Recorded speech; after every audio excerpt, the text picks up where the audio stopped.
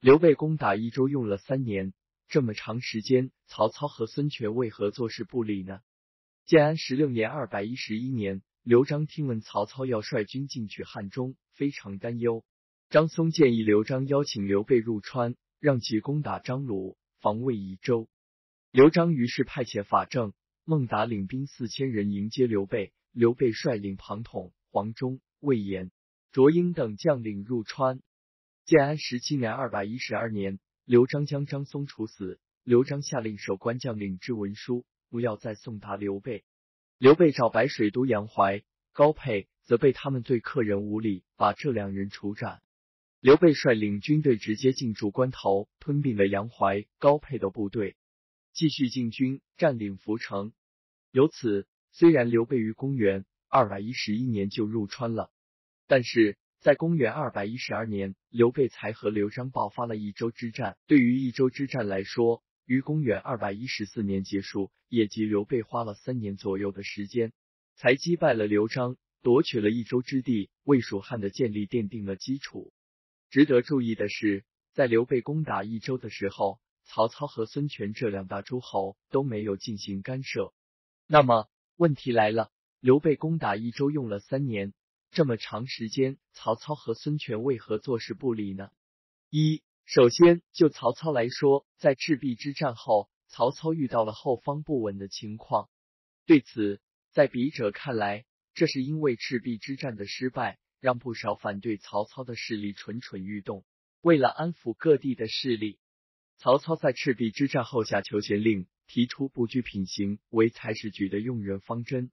目的是尽量把人才收罗到自己身边，以此来化解各地的反对势力，比如忠于汉室的力量等。在此基础上，建安十六年（二百一十一年），曹操开始对关中用兵。三月，曹操遣司隶校尉钟繇率大将夏侯渊，以讨伐汉中至南郑（经陕西汉中东）。张鲁为明进兵关中。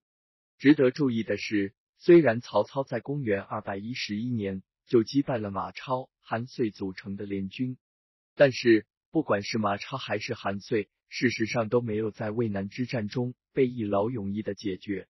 于是，在公元二百一十一年后，曹操还需要应对马超、韩遂等人的袭扰，这在一定程度上导致曹操无法干涉刘备攻取益州的行动。二建安十七年（二百一十二年）正月，马超潼关之战失败不久。就迅速兼并陇上诸郡县陇西、南安、汉阳、永良等。张鲁也遣大将杨昂相助马超，共集结万余人，围攻凉州。刺史韦康于凉州治所继承，今甘肃甘谷县南。与此相对应的是，就韩遂来说，在公元二百一十一年被曹操击败后，逃回到了凉州，从而继续和曹操相抗衡。建安二十年（二百一十五年），夏侯渊回汉中，留下言行。韩遂结集羌胡数万兵众攻破延行，不久，韩遂便也即直到公元二百一十五年，刘备结束益州之战的时候，韩遂依然可以给曹操制造麻烦，而这自然牵扯了曹操的精力，促使其无法干涉刘备攻打益州的战役，并且对乌曹操来越，因为逐渐将重心放到了征讨孙权上，这也导致其在一定程度上忽略了刘备。建安十八年（二百一十三年）正月，曹操攻打如须坞，孙权以周师围攻曹操水军，俘获三千余人，曹兵溺亡数千人。在与之相持一个多月后，孙权成功的劝退了曹操。三对乌曹操来越，因为内外部的因素，所以只能坐视刘备夺取益州。与此相对应的是，对乌孙权来越，同样没有干涉刘备攻取益州的行动。公元二百零九年，在周瑜去世后，刘备上表奏封孙权代理车骑将军，兼任徐州牧。孙权与刘备在京口相见，并同意借南郡给刘备。对此，在笔者看来，因为周瑜的去世，江东损失了一位可以攻取益州的大枪，这也是孙权同意借南郡给刘备的重要原因。如果周瑜没有去世的话，孙权很可能就不会把南郡借给刘备。并且江东还可能自己派兵来攻打益州的刘璋。